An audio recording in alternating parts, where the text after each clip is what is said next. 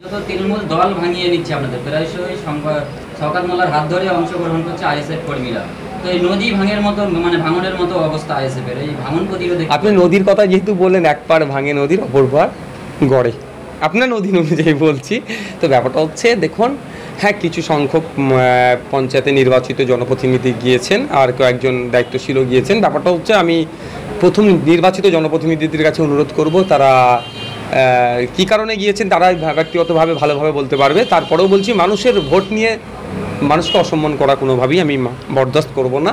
আমি তাদেরকে বল, বলছি, আবার আপনি মিডিয়ার মাধ্যমে বলছি, যারা মানুষের ভোট নিয়ে নির্বাচিত জনপ্রতিনিধি হয়েছেন, তাদের উদ্দেশ্যে বলব, পদত্যাগ করে আপনার নতুন দল যেটা ভালো লেগেছে সেটা করুন। অন্যথায় আগামী দিন কিন্তু মানুষের যেহেতু আমরা কণ্ঠস্বর, আমরা কিন্তু এর প্রতি উত্তর আইনের মাধ্যমে দেবো। আর জনগণ যদি দায়িত্ব তুলে নেয়, তখন বিপদ হয়ে যাবে। আর দ্বিতীয়, কিছু সংখ্যক মানুষ ভয়ের কাছে গিয়েছে। আবার স্বল্প কিছু মানুষ যেটা খবর পাচ্ছি, তাদের কিছু ব্যক্ত, ব্যক্তি স্বার্থ- চরিতার্থের জন্য গিয়েছে। কারও কারও সম্পত্তি আছে, তারা দখল পাচ্ছিল না। এই সময় তৃণমূলের নামটা লিখিয়ে সম্পত্তিটা যদি দখল করিয়ে নেওয়া যায়, সেই চেষ্টায় গিয়েছে। আর তবে আমি একটা জিনিস ভেবে পাচ্ছি না, যারা যাচ্ছেন, তাদেরকে তো বলা হচ্ছে পদ দেবে। সরকার সাহেব কত পদ দেবেন? আরাবুল সাহেবের বেশি হয়ে যাচ্ছিল বলে মানে পদ কম লোক বেশি হয়ে যাচ্ছিল বলে আরাবুল সাহেবদেরকে দীর্ঘদিন জেলের মধ্যে আটকে রেখেছে, যেটা শুনছি। একাধিক জনকে জেল খাটাবার আরও প্ল্যান করছে। তাহলে যারা আইএসএফ ছেড়ে যাচ্ছে, তাদেরকে পদ দেবে? না, পদের জন্য আগামী দিনে এদের আবার লড়াই হবে না তো? এই মুহূর্তে গোটা রাজ্যে দশ থেকে এগারোটা বিধানসভা মানে শূন্য। দশটা উপনির্বাচন হবে চারটে। চারটে বিধানসভার উপনির্বাচন হবে। সেখানে আইএসএফ প্রার্থী দেবে কি অবশ্যই দেখুন আমরা ভোটের ময়দানে এসে আছি। বিশেষ করে পার্শ্ববর্তী ভাঙনের পার্শ্ববর্তী হ্যাঁ আমরা আমরা হাড়োয়াটা এখনও পর্যন্ত নোটিফিকেশান আসেনি। টোটাল দশটার শূন্য হয়ে আছে। চারটে নোটিফিকেশান হচ্ছে সেই চারটের মধ্যে কটায় আমরা কন্টেস্ট করব? আমাদের আলোচনার সাপেক্ষে। আজকেও আমাদের একটা রাজ্য স্তরের অনলাইনে আলোচনা আছে। সেটা সেখান থেকে একটা বই আউট বার হবে। রাজ্য কমিটি ডিসাইড করবে যেখানে করা যায় কম্পিটিশন করা যায় সেই জায়গাগুলোতে কম্পিটিশন করবে। উপনির্বাচনে বামেদের সঙ্গে কোনো প্রকার জোটের সম্ভাবনা আছে কিনা? দেখুন আমরা সবসময় বলছি যে আমরা জোট থেকে বেরিয়ে যাওয়ার পক্ষে নয়। আমরা চেয়েছিলাম এই নির্বাচনে, লোকসভা নির্বাচনে বাম, কংগ্রেস, আইএসএফ ঐক্যবদ্ধ হয়ে বিজেপিকে, তৃণমূলকে কোণঠাসা করি। কিন্তু প্রথমে কংগ্রেস বেরিয়ে গিয়েছিল তারপরে বামেরা যে সিট দিচ্ছিল, আমাদের কাছে সেটা সম্মানজনক লাগছিল না। বা আমরা যেটা চাইছিলাম, হয়তো বামেদের সেটা ভালো লাগছিল না। ফলে আমরা আলাদাভাবে লড়াই করেছি। এই উপনির্বাচনে এখনও পর্যন্ত এই ধরনের কোনো প্রস্তাব আসেনি। আসলে বিবেচনা করব। বিভিন্ন জায়গায় আপনাদের কর্মীদের, অনেকের বাড়িতে বোমাবাজি হয়েছে, দোকান বন্ধ করে দেওয়া হয়েছে, অনেকের বাড়ি ভাঙচুর হয়েছে। এখনও অনেকের দোকান বন্ধ। চারটে মতো এখন দোকান বন্ধ আছে, যেটা ভগবানপুর অঞ্চলের মধ্যেই পড়ছে। বাকি যেগুলো ছিল, আমরা প্রশাসনেরকে দ্বারস্থ হয়েছিলাম, প্রশাসনকে দিয়ে সেগুলো খুলিয়েছি। এগুলো বাকি আছে, এগুলো আশা করছি প্রশাসন দ্রুত খুলে দেবে। এবং যেগুলো আমাদের সাথে অন্যায় হচ্ছে প্রতিটায় আমরা কিন্তু ডিজিপিকে পর্যন্ত আমরা জানিয়েছি।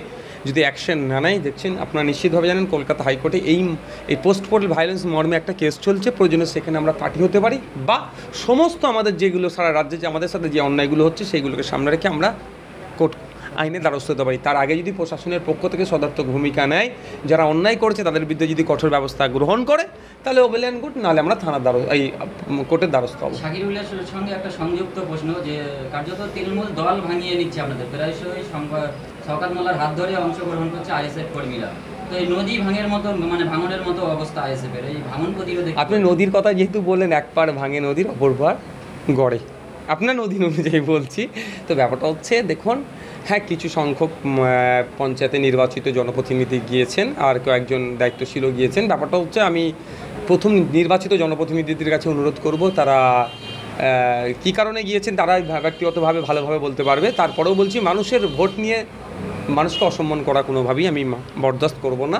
আমি তাদেরকে বল, বলছি, আবার আপনি মিডিয়ার মাধ্যমে বলছি, যারা মানুষের ভোট নিয়ে নির্বাচিত জনপ্রতিনিধি হয়েছেন, তাদের উদ্দেশ্যে বলব পদত্যাগ করে আপনার নতুন দল যেটা ভালো লেগেছে সেটা করুন। অন্যথায় আগামী দিন কিন্তু মানুষের, যেহেতু আমরা কণ্ঠস্বর, আমরা কিন্তু এর প্রতি উত্তর আইনের মাধ্যমে দেব। আর জনগণ যদি দায়িত্ব তুলে নেয়, তখন বিপদ হয়ে যাবে। আর দ্বিতীয়, কিছু সংখ্যক মানুষ ভয়ের কাছে গিয়েছে। আবার স্বল্প কিছু মানুষ যেটা খবর পাচ্ছি তাদের কিছু ব্যক্ত, ব্যক্তি স্বার্থ- চরিতার্থের জন্য গিয়েছে। কারও কারও সম্পত্তি আছে, তারা দখল পাচ্ছিল না। এই সময় তৃণমূলের নামটা লিখিয়ে সম্পত্তিটা যদি দখল করিয়ে নেওয়া যায়, সেই চেষ্টায় গিয়েছে।